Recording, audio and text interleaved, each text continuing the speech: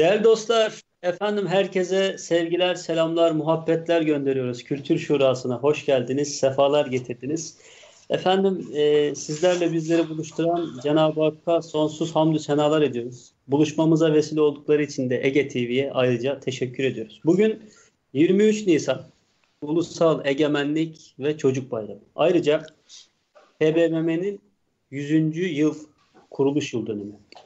Buradan öncelikle geleceğimizin teminatı olan çocuklarımızın bayramını en içten dileklerimizle kutluyoruz. Bugün e, kültür sanatın önde gelen isimleriyle kültürü, sanatı, çalışmaları, gündemi biraz e, tabii virüsü konuşmaya çalışacağız. Virüsün e, sanatımızı nasıl etkilediğini, bundan nasıl e, çıkarız? Bunları ele alacağız. Hepiniz tekrar hoş geldiniz, sefalar getirdiniz. E, yayın konuklarımız, efendim sizler zaten yakinen tanıyorsunuz ama e, tanıtmakta tekrar fayda görüyorum. Kültür ve Turizm Bakanı Bakanlığı Güzel Sanatlar Genel Müdürü Sayın Murat Salim Tokaç bizlerle. Klarnet virtüözü Serkan Çağrı konuğumuz. Milat Gazetesi gazeteci, yazar Özlem Doğan bizlerle beraber. Efendim hoş geldiniz, sefalar getirdiniz. Hoş bulduk. Hoş bulduk. Hoş gördük. Serkan abicim sizin e, Yunuslarla e, eşlik ettiğiniz, daha doğrusu Yunusların size eşlik ettiği bir e, video ile, bir müzikle programı açtık. E, aslında müzik, musiki, name her yerde var. Canlı ve cansız bütün varlıklarda var. Bu nasıl bir duygu abi? Ben bunu izleyince dedim ki bunu yayınlamam lazım. Bunu bir sürpriz yapalım dedim Serkan abiye. Vallahi e, öncelikle şöyle söyleyeyim. E, bütün canlılar yani müziğin içinde olan bütün canlılar bir bütündür. E, dolayısıyla sadece müzik insanlar için değildir. Yani bir ağaca bile, bir çiçeğe bile sevgi sözleri gönderir. İyi bir müzikle e, yaklaşırsanız çok bambaşka, farklı e, bir sonuç elde edersiniz. Yani doğadaki tüm canlılar müziğin içindedir. Müziğin ayrılmaz bir parçasıdır. Bizler de öyle. E, geçtiğimiz yıllarda ben çocuklarımla e, ziyaret etmiştim Yunusları. O esnada aklıma geldi. Dedim ki acaba e, onların bir müzik aletine verdiği ses e, yani sesi tepki ne olabilir? E, nasıl bir frekans duyduklarında nasıl e, tepki verebilirler diye çok merak ettiğim bir konuydu aslında. Hayvanlarla çünkü zaman zaman bu iletişimi ben yapmaya çalışıyorum. Bir, e, bir gün yine böyle Edirne'de kargayla sohbet etmiştik. Hatta onun da görüntüleri var. E, karşılıklı böyle senkron içinde cevap veriyorlar. E, ama onların tabii... Bu da yayınlayalım inşallah. İnşallah. E, onların tabii doğru frekansı vermeniz önemli. Ee, onlara yakın olan frekansı bulmanız. Burada da dikkat edilirse Yunuslarla ben aynı tonda çalıyorum. Ee, evet, Yunusların evet. verdiği tonu e, klarnette bulup ona göre çaldığımda o reaksiyon ortaya çıkmış oldu. Evet. Ee, işte umuyoruz ki kültür ve turizm açısından da bir canlılık kazandırırız ülkeye bu vesileyle. Değil mi Sayın Müdürüm? Yani evet. ne diyorsunuz sizin yorumunuz önemli benim için. Kültür ve turizm alanını kapsayan bir çalışma oldu. Ya kültür tarafı zaten tamam e, göründüğü gibi icralarda ama turizmle de birleştirdiğin için bakanlığın tam temsili noktasında tam 12'den vurmuş oluyorsun. evet. Serkan abi Şaka bir tarafa tabii ama yani bunlar hani güzel aslında bazen şaka gibi başlayan durumlar hani ciddiye alındığı hı hı. zaman e, balon gibi birdenbire büyüyerek e, hacmi hacmini genişletiyor ve kapsama alanında dolayısıyla pek çok yerden görülmüş duyulmuş oluyor. Eksik Zaten olmadan. hocam bugünlerde e, çok özür dilerim. Bugünlerde e, en çok yaptığımız şey zaten e, evlerimizde olduğumuz için e, tabii sahip olan e, bu konuma sahip olan birçok arkadaşımız herhalde bunu yapıyordur. E, benim bir bahçem var Allah şükürler olsun. Bahçede şu anda köydeyim zaten. Bahçede bütün canlıların e, seslerini taklit etme yeteneğim gelişti hocam yani evde kaldığım sürece. Herhalde bundan sonra farklı bir konser gelecek Murat hocam. Çok güzel. Hayırlısı Serkan bakalım. Abicim, Serkan abicim devam edeceğiz. Vaktimiz var. Böyle ben e, diğer konuklarımıza da bir selamlamak istiyorum. Murat hocam hoş geldiniz. Sefalar getirdiniz. Hoş bulduk Rahmi Beyciğim. Sağ olun. Eksik olmayın. Yani bu özel bu özel ve olağanüstü günlerde siz ve sizin gibi değerli arkadaşlarımızın, kardeşlerimizin, dostlarımızın e, yayıncılık anlamında bu ciddiyetle e, ve bu heyecanla devam ediyor olması hem evde kal hem de sağlıkla kal e, cümlelerinin e, içeriğini doldurmuş oluyor. Bizler de sizler sayesinde e, bu e, programlara konuk olarak hem sevdiklerimizle hem de kültür sanat camiasıyla buluşmuş oluyoruz. Onun için teşekkür ediyoruz bir kere daha. Biz sizlere minnettarız efendim. Yani bu e, yoğun iş temponuzun içinde bizlere de vakit ayırdınız. Ayrıca teşekkür ediyorum. Özlem Hanım hoş geldiniz. Sefalar getirdiniz efendim. Hoş bulduk. Ee, herkese selamlarımı sunuyorum. Hem konuklar... Efendim Milat Gazetesi e, gazeteci yazar. Tekrar hoş geldiniz. Sefalar hoş getirdiniz. Hoş bulduk. Sizin ee, de bu güzel ilkbahar... E, efendim? Sizin de aslında işiniz zor yani. Biz evdeyiz ama siz devamlı sahadasınız. Evet programdan sonra tekrar dışarı çıkacağım zaten. Ee, biz sokağa çıkma yasağı olduğunda da dışarıdayız. Haber için e, dolaşıyoruz İstanbul'u. E, iki haftadır böyleydi. Bugün de böyle olacak inşallah.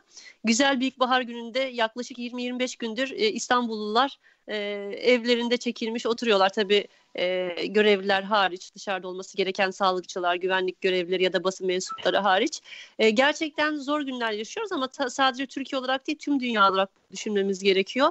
E, evde kalacağız. Devletimizin e, aldığı önlemleri uyacağız inşallah ve en kısa sürede de bunu atlatarak e, yine kültür sanat faaliyetlerimize, işlerimize, e, hayatımızın normal temposuna geri döneceğiz inşallah.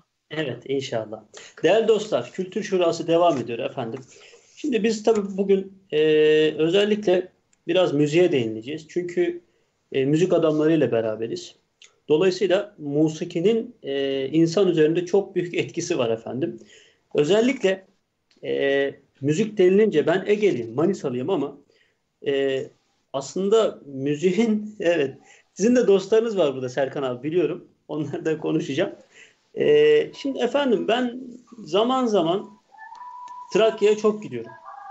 Özellikle işte Keşan, e, orada hemen e, Erikli diye bir mevki var. Orada zaman zaman böyle vakit geçiriyorum. Ama ilgimi çeken bir şey var. Yani Trakya'da müziğin temelini oluşturan insanlar var. Ya belki bu insanların e, bir bölümü bir konservatuvar eğitimi almamış, yani konservatuvarda bulunmamış, müzik eğitimi almamış ama doğuştan müzik müzikle, musikiyle iştigal ediyorlar. Ee, özellikle siz de Trakya'da yetişen bir sanatçısınız.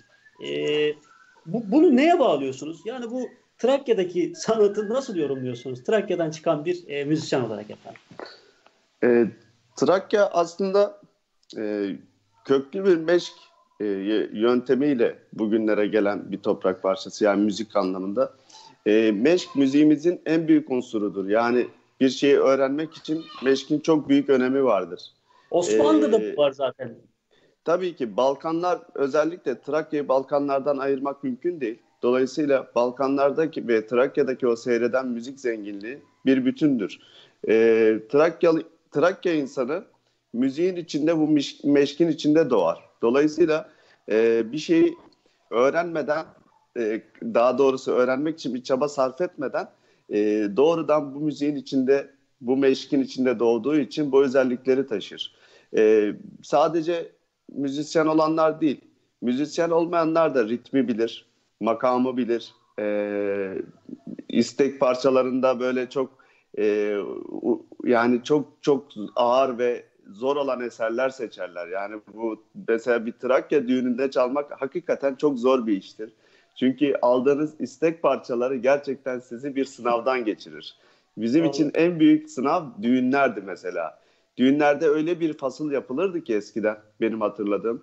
E, şimdi tabii dünyadaki değişen müzikle beraber birçok yerde de bu e, dejenerasyon gerçekleştiği e, söz konusu. Ama eski yıllarda benim çocukluğumda hatırladığım e, gerçekten bir fasıla çalmak, fasıl eşliğinde bulunmak zor bir işti.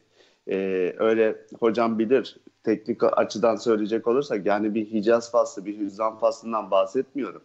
çok daha duyulmadık makamlarda, e, güncel olmayan makamlarda fasıllar çalınırdı. Düğünlerden bahsediyorum. Yani bir Havasından zurnanın... mıdır, suyundan mıdır bu Serkan abi? Bu insanların aslında bu göç unsuru var aslında. E, onu söylemek lazım. Göç insanlarda bütün duyguları en üst seviyeye taşıyan bir e, durumdur. E, Trakya'nın çoğu, çoğu göçmendir. E, göç bölgesidir Trakya. Tüm Balkanlardaki yaşanmışlıkların izlerini taşır aslında müziğimiz bizim. E, du, duyguların temelini oluşturan müziktir Trakya'da.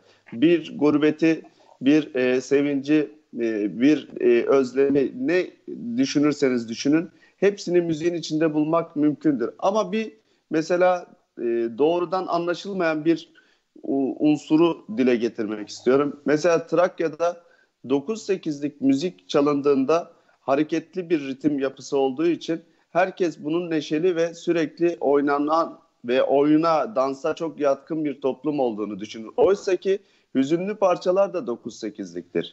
Trakya'daki e, ritim yapısı kendini ifade edebilecek ritmi seçmiş. Yani bir 9-8'liği kendine yakın bulup tercih etmiş. Bu 9-8'liğin içinde de bütün hüzün ve sevinçleri anlatmayı tercih etmiş. Ee, bakıldığı zaman çok oynayan, çok zıplayan, böyle yerinde duramayan bir halk gibi görünüyor ama e, bunun türkü örnekleri de vardır. Mesela e, bir ayrılık e, acısıdır. Yüksek yüksek tepelere ev kurmasınlar ama bakıldığı zaman 9-8'liktir. Bunun gibi yani ritim yapısını hızlandırırsanız neşeye doğru gider Trakya'da. E, yavaşlatırsanız e, gerçek duyguyla sözleri birbirine e, yakınlaştırmış olursunuz. Doğruyu da böyle bulabilirsiniz müzikal olarak Trakya'da. E, çok neşeli olmalarının bir nedeni de aslında Trakya'da yaşanan çok hüzünlü durumlar var. Bu hüzünleri saklama gereği duyar bizim Trakyalılar. E, yani hüznünü neşe olarak saçmaya çalışır etrafa. Ben kendimden de biliyorum. Ben çok üzülmeyi seven bir adam değilim.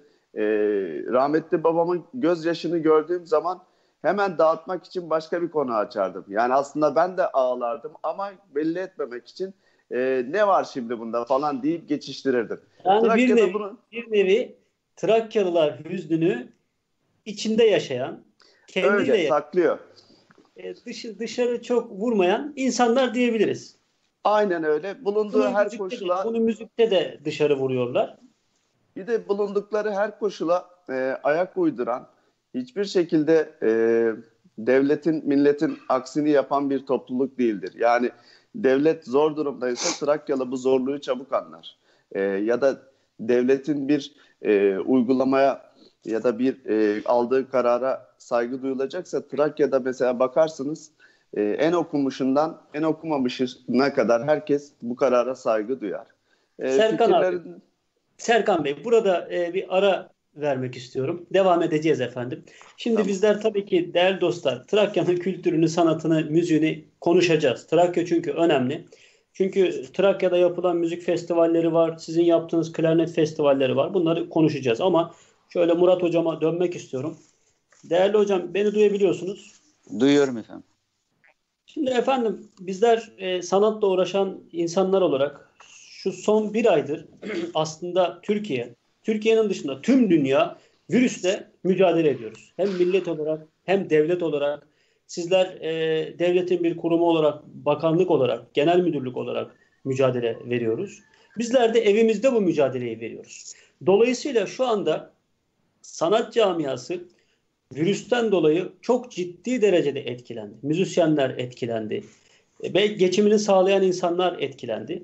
Siz şu anda e, Kültür Bakanlığı olarak sanat cepte uygulaması e, yaptınız. Orada e, işte konserler veriliyor e, sanat cepte uygulamasında. Sanat şu anda cebe mi girdi efendim? Salonlardan çıkıp cebe mi girdi? Bu aslında bu süreçle başlayan bir e, yenilik değil. Bizim bundan iki yıl kadar evvel e, önce Güzel Sanatlar Genel Müdürlüğü bünyesindeki etkinlikleri tanıtmak için e, aslında sloganımız şuydu sanat cepte derken ve onu da biz iki sezondur, bir buçuk sezondur diyelim yani bir buçuk seneden beri aktif olarak bütün konserlerimizin başlangıcında ilanen e, söylüyoruz ve gösterimleriyle de insanımıza, sanatseverlere anlatmaya, aktarmaya çalışıyoruz. Sanatın cebe girmesi bir anlamda şöyle doğru. Yani bizim bakanlığımız aracılığı ile sah, e, idaresinde bulunduğumuz ve e, sahadaki senfoniden halk müziğine, Türk müziğinden halk oyununa kadar, sema topluluğuna kadar e, sanat birimlerimizin icra ettiği ve e, sahnelediği etkinliklerin tamamını daha kolay ve daha etkin ulaşılabilirliğini sağlamak amacıyla siz neredeyseniz sanat orada demek anlamında olan bir sanat cepte uygulamasıyla hani mesela bugün İstanbul'dasınız. İstanbul'da hangi etkinlik var? İşte iş icabı veya herhangi bir sebeple e, Edirne'desiniz ya da Antalya'dasınız ya da Malatya'dasınız ya da Elazığ'dasınız ya da Samsun'dasınız neyse. Yani bizim etkin olarak ulaşabildiğimiz e, ülke genelinde öncelikle e, sanatın nerede icra ediliyorsa orada an be an takip edebilecek kadar etkin olmaya çalıştığımız bir uygulamayla yola çıktık. Ve e, bu dönem Bakanımız Sayın Mehmet Nuri Ersoy'un da e, müdahale etmesiyle sanat uygulamasının olduğu bütün genel müdürlükler ya da birimler, devlet opera bale ve öncelikle devlet tiyatroları başta olmak üzere bütün etkinliklerimizi biz sanat cepheden duyurmak ve orada e, daha kolay ulaşılabilirliğini sağlamak amacıyla bu sene aslında toplumun kültüre sanata biraz Kesin. daha e, ulaşması açısından güzel bir ulaşım kolaylığı ve dolayısıyla e, bu sanat sezonunun başında daha geniş e, kitlelerle buluşturmak ve değişik branşları takip edenlerin diğer branşlara da takip edebilmesini. Mesela bir tiyatroyu çok takip edenin işte, e, Türk müziğini ya da bir halk müziğini, e, opera baleyi takip edenin yine tiyatroyu daha e, yakından takip edebileceğini sağlamak amacıyla oluşturuldu. Ha tabii tam bu işte pandemi süresinin başladığı 11 Mart'a geldiğimizde ki olağanüstü bir durum elimizde hazır olarak bir artık imkan vardı ve biz bu imkanı da her ne kadar salonlardan belirli bir süre, sınırlı bir süre çekilsek de biz e, sanatseverlerle, halkımızla ve insanımızla e, ve bunun ötesinde tabii e, dijital ortam ve sosyal mecraya kayınca bütün dünyayla paylaşabilmek adına bu imkanı daha da genişletmiş olduk. Ama bu şu Hocam, demek değil ki, pardon, ister küçücük tamamlayayım. Bu şu tamam, demek buyurun. değil ki bu sürecin sonunda yani biz yavaş yavaş yeniden dışarıya çıktığımızda pandemi sürecinin sonu veya sona erdiğinde göz göze, diz dize konser salonlarımızda belki öncesinden çok daha fazla sayıda etkinlikle ve daha geniş imkanlarla o canlı etkinlik ve müziğin sırrını e, yeniden ve daha samimi bir şekilde buluşturacağız. Kusura bakmayın. İnşallah ülkemizdeki bu e, olağanüstü hal biter. Tekrar e, kültür sanat etkinlikleri salonda efendim başlar. Evet. Tabii kültür sanat cepte de bu, bu etkinlikleri inşallah hem toplum olarak da biz de takip ederiz. Özlem Hanım merhabalar efendim. Merhaba tekrar. Sizler de, sizler de kültürü sanatı dinliyorsunuz ama size de evet. dönmek istiyorum. Çünkü bizler evimizdeyiz efendim şu anda. Evet. Sokağa çıkma yasağı da var. Siz de yayından sonra tekrar meydanlara ineceksiniz. Evet. Ee, nasıl geçiyor meydanlar efendim? Bizler tabii meydanları çok bilmiyoruz şu anda. Bir aydır evdeyiz. Çok fazla dışarı evet. çıkamıyoruz şehirler arası yolculuk da yapamıyoruz. Evet. Şöyle anlatayım ben de ilk önce kültür sanattan biraz bahsetmek istiyorum. ee, Osmanlı'dan beri İstanbul aslında kültür sanatın başkentidir. Hala da öyle. Ee, bir e, tiyatro galası olduğu zaman ya da konser, sergi, film galası çok istisna durumlar dışında İstanbul'dan başlar. Ben de bir İstanbullu olarak e, kültür sanat faaliyetlerini yakından takip eden biriyim. Her ne kadar e, mesleğimde çok daha fazla siyaset öne çıkıyor olsa da e, bir yazar olarak da kültür sanat faaliyetlerini çok yakından takip ediyorum.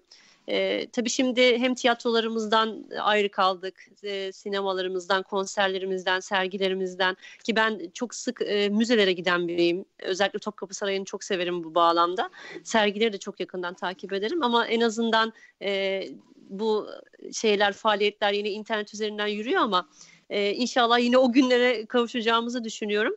E, kültür sanat dışında şöyle anlatmak isterim. En azından gördüklerimi İstanbul'da özellikle e, geçen hafta Beyazıt ve Çembertaş arasında yürürken e, çok farklı duygular hissettim. Çünkü insan ömründe her zaman böyle bir şeye denk gelemez.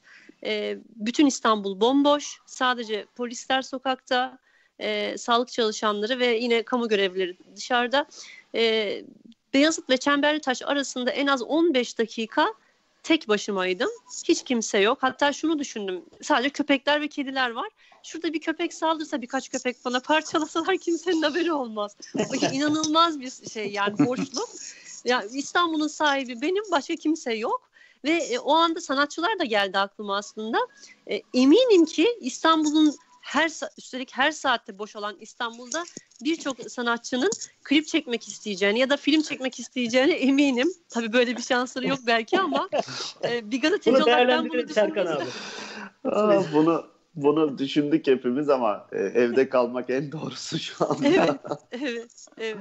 Ee, ve özellikle bu Yeniçeriler Caddesi'nde e, daha önce de aslında fark etmiştim ama bu kadar dikkatimi çekmemişti. Yeniçeriler Caddesi'nde Çorlu Ali Paşa Medresesi'nin biraz ilerisinde küçük bir şey var. E, dükkan e, demek de istemiyorum aslında ama çünkü e, Osmanlıca bir eserin içinde Kur'an-ı Kerim falan satan bir yer var. Orada e, hoparlörden Kur'an-ı Kerim okunuyor. İki hafta önce de öyleydi. Yani banttan okunuyor. Çok etkileyici bir durum aslında çünkü sokaklar bomboş, Kur'an-ı Kerim okunuyor, hayvanlar geçiyor sadece. Siz o yolda normalde çok dolu olan o yolda tek başınasınız. Yürüyorum, yürüyorum, kimse yok dediğim gibi. Kötü hissettim. Hani hep İstanbul'un trafiğinden dem vururuz ya kalabalığından, keşmekeşinden. Meğerse güzelmiş. O, keşmekeş güzelmiş. Tek başına olmak hiç güzel değil. Yani e, orada her türlü e, Acaba kurguyu yapabilirsiniz. Gerçek gerçek İstanbul'u mu yaşıyoruz şu anda? yani bu sessizlik, bu sakinlik onu düşünüyorum. Aslında bir yerde bir şey bir, e, bir şey okumuştum çok hoşuma gitti. E, bir sıkça şey yazıyorlar. E, dünya ger- sokaklar gerçek sahiplerine kaldı. İyi de kardeşimiz üvey evlat mıyız insanlar olarak yani niçin gerçek sahipleri sadece Efendim devam olur. edeceğiz. Özlem Hanım devam edeceğiz evet. İstanbul konuşmaya. Evet. Şu anda e, hattımızda efendim e, Bülent Arınç Bey var. Kendisi malumunuzdur ki meclis eski başkanımız. Bugün de 23 Nisan Ulusal Egemenlik ve Çocuk Bayramı ayrıca da TBMM'nin kuruluşunun 100. 100. yıl dönümü olması dolayısıyla kendisinin duygu ve düşüncelerini e, alacağız. Sayın Bakanım hoş geldiniz. Hoş bulduk. İyi yayınlar. Arkadaşlara selamlar. Teşekkür ediyoruz efendim. Ee, Merhabalar. Nasıl gidiyor efendim? Bugün e, Ulusal Egemenlik Çocuk Bayramı Sayın Bakanım. Sizin de evet. duygu ve düşüncelerinizi almak istedik. Çünkü sizler de e, aynı zamanda meclis başkanlığı yaptınız. Şu anda da Cumhurbaşkanlığı Yüksek İstişare Kurulu'ndasınız. Evet. Şimdi biliyorsunuz bu Covid-19 sebebiyle yaşımız itibariyle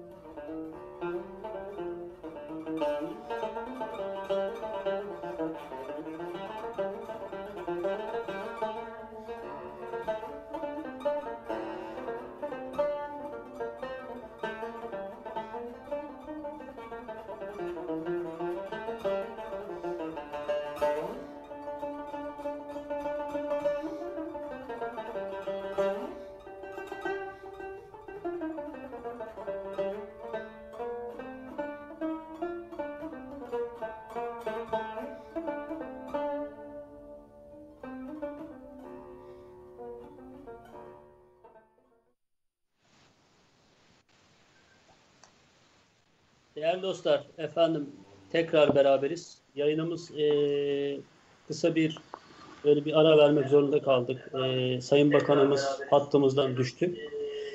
Efendim tabii kültür sanatı konuşuyoruz ama tabii Serkan Çağrı'yı bulmuşken bir de Trakya'yı bulmuşken, Trakya'ya gitmişken şöyle Serkan abicim bize şöyle e, klarnetinizle enstrümantal bir şeyler e, acaba icra etmeniz mümkün mü efendim? Yani çok sürpriz bir şey oldu ama Allah'tan e, köşemde yakaladın evet, beni. Evet. Klarnetleri gördün Gördüm herhalde şurada. söyledim zaten. Tamam. Bilerek söyledi. Bence Evet. de bilerek. Allah erişebildim. Tamam.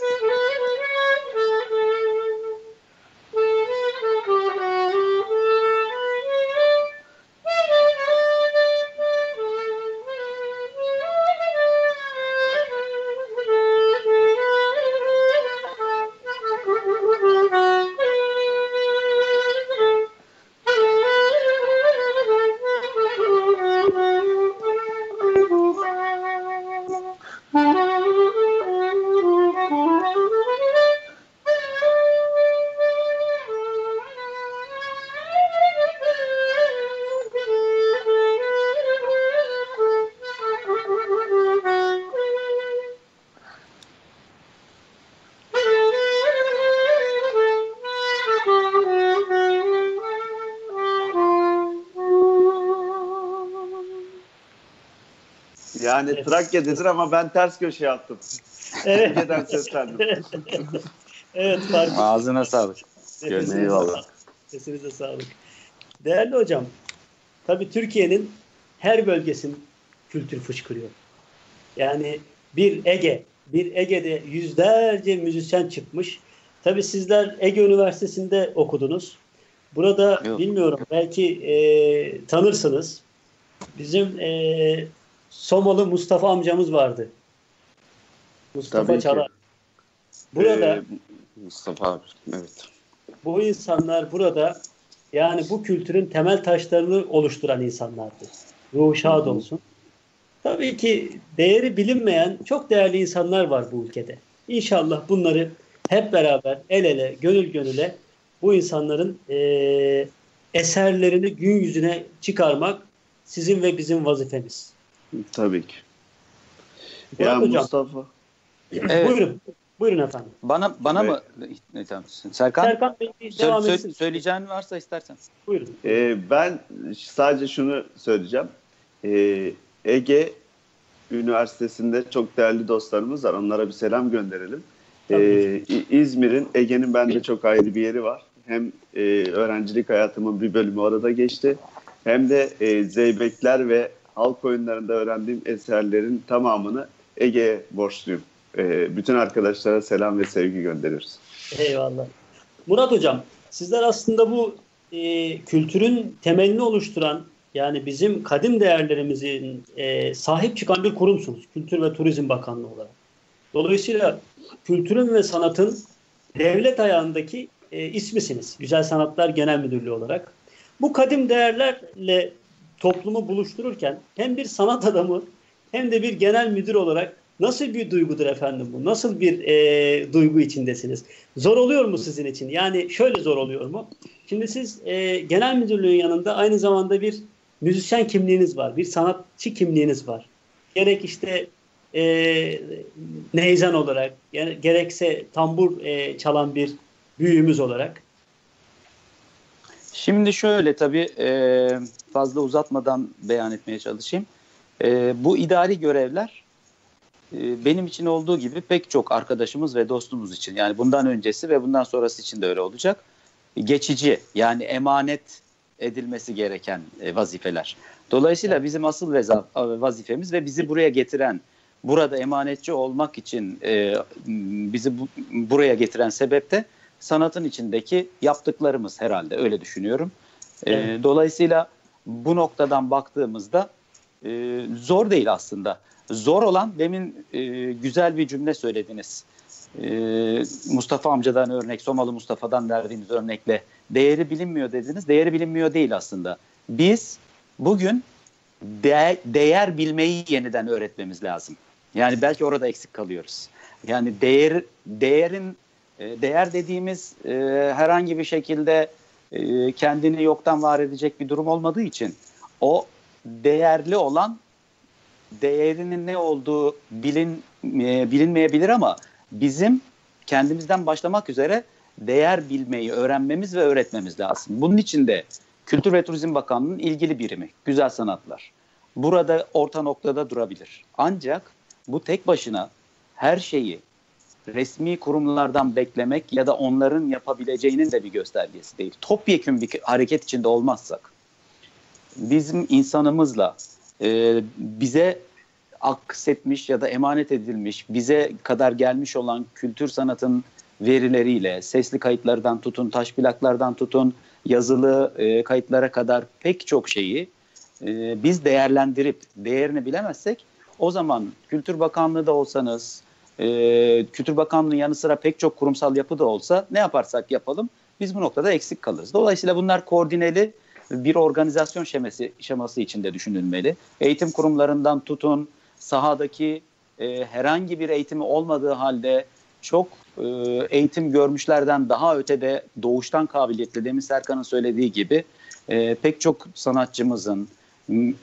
göçmüş olabilir e, veya bugün yaşıyor olabilir. Bunların hepsini bir araya getirip bu organizasyon şemasında e, Kültür Bakanlığı'nın ilgi bir, ilgili birimlerinin haberdar olmak ve bunları bir araya getirmek ve bir araya getirirken de yani e, kişi olsun, e, herhangi bir kurumsal yapı olsun, özel sektör olsun bunların da samimiyetini ve bunların da saha içerisinde kendisine dert edindiğinin ispatını görmemiz lazım. Dolayısıyla bu topyekun bir toplumsal oraya, harekettir. Oraya gelmek istedim hocam. Yani değeri bilinmiyor derken aslında bu Doğru insanlar çok değerli insanlar. Yani bu insanlar yaşamını, ömrünü müziğe, musikiye harcamış insanlar.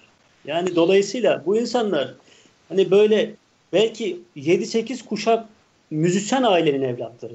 Dolayısıyla bizim bu insanların hani ben kendi adıma söyleyeyim. Benim onların değerini bilmememle aslında bu insanlar değersiz olmuyor. Zaten değerli evet. bu insanlar. Eğer biz dertlenirsek e, bu mevzuda dertlenenler zaten bu insanların değerini biliyorlar. Yani sizin gibi dertlenen insanlar. O yüzden bu insanlar ölüm, ölümsüz insanlar zaten. E, zaten e, aynı şeyleri konuşuyoruz hmm, her şekilde. E, bir küçücük eklemeyle isterseniz ben fazla hani lafı da uzatmayayım süremiz sınırlı çünkü.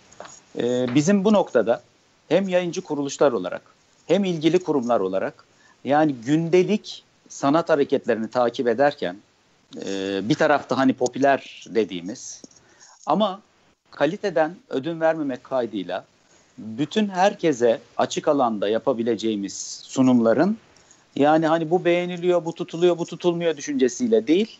E, evet. evet. E, en üst düzeyden resmi kurumlardan başlamak üzere özel sektördeki bütün kuruluşların bir ev ödevi gibi e, kendilerine ayırdığı ve e, planlanmış vakitlerde e, dijital mecradan tutun, e, medya kanallarından tutun, yazılı, görsel bütün alanlarda bizim kendimize ait olanı da bir sonraki devre e, dev, e, dev, devire aktarmak için gerekli özeni bir prensip dairesinde sıkmadan, usandırmadan devam ettirmemiz ve planlamamız gerekmekte. Evet. Eyvallah. Çok teşekkür ediyorum. Evet. Özlem Hanım, size dönmek istiyorum efendim. Ee, değerli dostlar, şu anda e, ülkemiz, devletimiz tarafından, e, bilim kurulu tarafından yasaklar var. Yani dışarı çıkmayın. Çünkü bu bizim sağlığımız için yapılan bir şey. Yani devlet, halk evde dursun, öyle sıradan alınan bir karar değil bu. Tamamen sağlığımız için. Çünkü önemli bir e, olay bu. Büyük bir olay. Bunu hep beraber el ele, gönül gönüle devlet-millet ilişkisi içinde bertaraf edeceğiz. Bertaraf edeceğiz ama şimdi ben buradan bir konuya değinmek istiyorum. Özlem Hanım bana dün e, bazı fotoğraflar attı. Özellikle halk pazarlarında maalesef sosyal mesafeye dikkat edilmiyor. E, siz iyi bir gözlemcisiniz, iyi bir gazetecisiniz. Bununla alakalı gördüklerinizi bizimle bir paylaşırsanız çok sevinirim.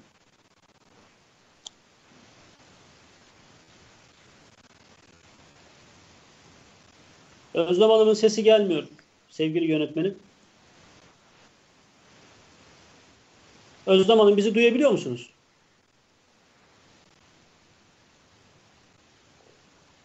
Özlem Hanım'ın sesi gelmiyor sevgili yönetmenim. Sanırım bir sıkıntı var.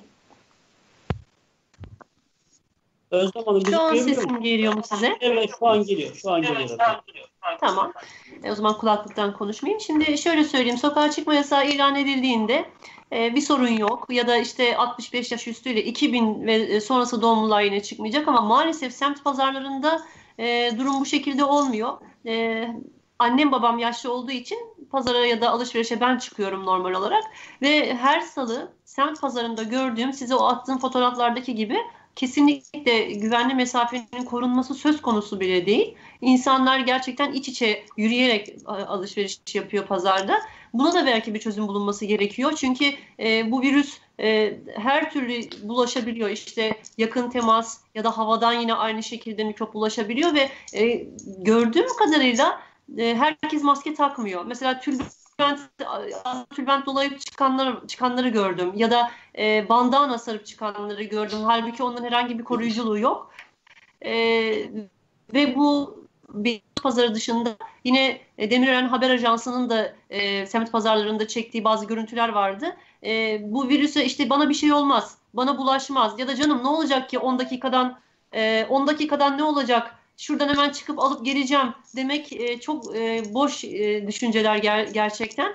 Eğer biz e, şu anda İspanya, İtalya, İran, Çin'deki o görüntüleri görmüyorsak yani sokakta bu biliyorsunuz çok fazla ölümler vardı. Özellikle bu pandeminin başında sokakta düşüp ölenlerin videolarını servis ediyorlardı e, sosyal medyada. Biz e, eğer bunları yaşamıyorsak devletimizin gerçekten ciddi anlamda aldığı önlemler sayesindedir. Ve yine yaşamak istemiyorsak e, semt pazarlarına da bir şekilde e, müdahil olunması gerektiğini düşünüyorum. Yoksa biraz, biraz e, çok zor olacak. Sevgili dostlar, Türk milletinde bana bir şey olmaz ya bana bulaşmaz. Böyle bir evet, aldı mı? Maalesef.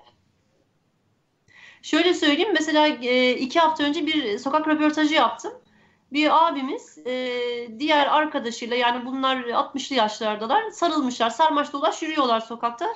Durdurdum dedim ki sizin dedim hani e, anlattım yani biliyorsunuz sokağa çıkma yasağı var. Yok öyle bir şey diyor yalan diyor. Yani adam o kadar rahat ki videosunu keşke size gönderseydim. Ya onlar diyor uydurulmuş şeyler diyor ne virüsü diyor. Bakın biz diyor yan yana dolaşıyoruz geziyoruz. Bir şey yok diyor. Bunlar uydurulmuş ekonomilere işte üst takıl ekonomilere saldırıyor falan. Yani maalesef böyle bir durum söz konusu e, bazı vatandaşlarımız çok fazla önemsemiyor. Bir de yaşlı amcalarımız şey diyor ya ölümden kaçılmaz. Yani yine sokak röportajlarımızda en çok rastladığım buydu. Ölümden kaçış yok. Kaderde ne varsa yaşayacağız. Şimdi biraz daha ama e, gördüğüm kadarıyla e, herkes evde kalmaya çalışıyor. İlk başlarda böyleydi ama. Evet, çok teşekkür ediyorum. Değerli dostlar, efendim Kültür Şurası'nda bizler e, Murat Salim Tokaç, Serkan Çağrı ve Özlem Doğan'la beraberdik. Tabii bize ayrılan sürenin maalesef maalesef sonuna geldik. Yani inanın ki ben 2-3 saat program yaparım. Hiç sıkıntı değil benim için Serkan abi. Yani biz konuşuruz. Efendim şöyle e, dostlarımız bana mesaj atmışlar. E, Makedonya Usturumca'dan Cambo Aguşev kardeşimiz bizim ortak nokta e, dostumuzdur. Kendisi de trompet sanatçısı. Değerli bir kardeşimiz. Kendisine evet. de selamlarımızı, sevgilerimizi gönderelim, muhabbetlerimizi gönderelim.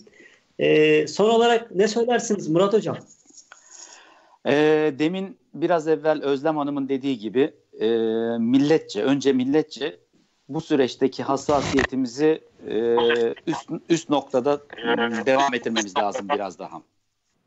E, çünkü aynı zamanda hekim ve mikrobiyolog olduğum için bu mikropların e, nanometre ile ölçülür kadar küçük olmasına karşın yaptıklarının aynen bugün ne kadar büyük, başından büyük işlere hani e, çocuklar için söyleriz ya bugün bayrama da bulunalım. Başından büyük işler ama bu başından büyük işler her zaman iyi olmuyor. E, dolayısıyla bunu bir sınırda tutup sonra da azalmasına e, sebep olmak için bütün millet yani siz biz küçük bir e, dairede ya da bir il bazında değil aynen bilim kurulumuzun e, kuralları ve tavsiyeleri doğrultusunda bunlara hepimizin yani benim benim görevim şu, benim şuyum bu falan. Burada bir görev falan yok biliyorsunuz. Hani son nefesi verirken sorulan evet. sorunun ne olduğunu çok iyi idrak ettiğimiz için yani e, elhamdülillah Müslümanız. Dolayısıyla aynen benzetmede e, teşbihte hata olmaz. Bugün için evdeysek hepimiz evde olacağız. Niye? Yarın çocuklarımızla, sevdiklerimizle, kültür sanat hayatından tutun bütün alanlarda çok daha fazla. Yani bugünlerin acısını çıkartırcasına e, beraber olabilmek için bugün evde olacağız. Onun için hem evde kalalım hem de sağlıklı kalalım diyorum ben. Hem de Çok kültür sanatla kalalım diyoruz değil mi? Tabii o o zaten hayatımızda yani. Biz evet. başka bir programda e, yine bu ekiple katılalım. Biz Özlem Hanım'a da sürpriz yapalım. O okudu evet. çalalım. Özlem Hanım son olarak ne söylersiniz? Şimdi ben e, Baki'nimi beytiyle bitirmek istiyorum. Aslında avazi bu alemde Davut gibi sal, baki kalan bu kubbede bir hoş sedaymış. Bu konuştuklarımız evet. tamamıyla bu kubbede bir hoş seda olarak kalsın diye e, diliyorum. İnşallah e, çok daha güzel günler göreceğiz. Bu pandemiden kurtulacağız inşallah. Yine görevlerimizin, işlerimizin başına döneceğiz. Yine hayat canlanacak. İlkbahar kadar e, güzel bir mevsim e, içindeyiz ama şu anda belki dışarıda çıkamıyoruz ama inşallah yazın dışarıda olacağımızı ümit ediyorum ve herkesin buradan Ramazan'ını da kutluyorum. Hayırlı Ramazanlar diliyorum. Teşekkürler. Amin. Serkan abi az önce bana sağ gösterip sol vurdun. Yani ben Trakya'daydım. Ege'ye gittik. Ee, son olarak duygu ve düşüncelerinizi alalım. Ben ayrıca hepinize çok teşekkür ederim. İnanın ki ben bugün e, çok mutlu oldum. Çok güzel bir program oldu. Tabii gönül ister ki daha uzun uzun konuşalım ama tabii bizden sonra da e, arkadaşlar habere hazırlanıyorlar. Onların da haklarına girmek istemiyorum. Son olarak ne söylersiniz Serkan abi? Ee, ben bugünün çok özel bir gün olduğunu hepimiz biliyoruz. Bununla ilgili bir mesaj iletmek istiyorum. Ee, öncelikle ne mutlu bizlere ki tüm dünya çocuklarına armağan edilmiş böylesi özel bir bayrama sahibiz. Ee. Atamızı şükranla anıyoruz. 23 ee, Nisan Ulusal Egemenlik ve Çocuk Bayramımız e, hem ülkemize hem de dünya çocuklarına hayırlı uğurlu olsun. Ee, geleceğimiz olan çocuklarımızın güzel günler e, görmesini diliyorum. Ayrıca e, bugün bütün Müslüman aleminin hayırlı ve güzel bir Ramazan geçirmesini Allah'tan diliyorum. Ve e, size de çok teşekkür ediyorum Murat Hocam, Özlem Hanım e, ve sen çok değerli kardeşim. E, bizleri böyle buluşturdun. Hem hoş sohbet ettik hem de evet. bu güzel bir e, sohbeti ana olarak e, hafızalarımızda e, bırakmış olduk. Evet. Hepinize sağlıklı günler diliyorum. Sevgiyle kalsın herkes. Sağlıkla kalsın. Herkes sevgiyle kalsın ama öyle ee, Kaçma diyorsun. Kaçmak yok, kaçmak yok. Şöyle değerli dostlar, efendim haftaya inşallah tekrar e, ömrümüz olursa, nefesimiz yeterse bizler bu ekranlarda olacağız. Ben şimdiden e, Ramazanınızı tebrik ediyorum. Cenab-ı Hak inşallah bu içinde bulunduğumuz bu güzel ayların hürmetine ülkemizi inşallah feraha ulaştırsın. Üzerimizdeki sıkıntıları inşallah alsın. Alsın ki tekrar kültür merkezlerine dönelim efendim. Tekrar sevenlerimizle buluşalım kültür sanatta. Şöyle Serkan Çağrı bizi şöyle bir Trakya'ya götürsün efendim. Buyurun. Tamam. Peki.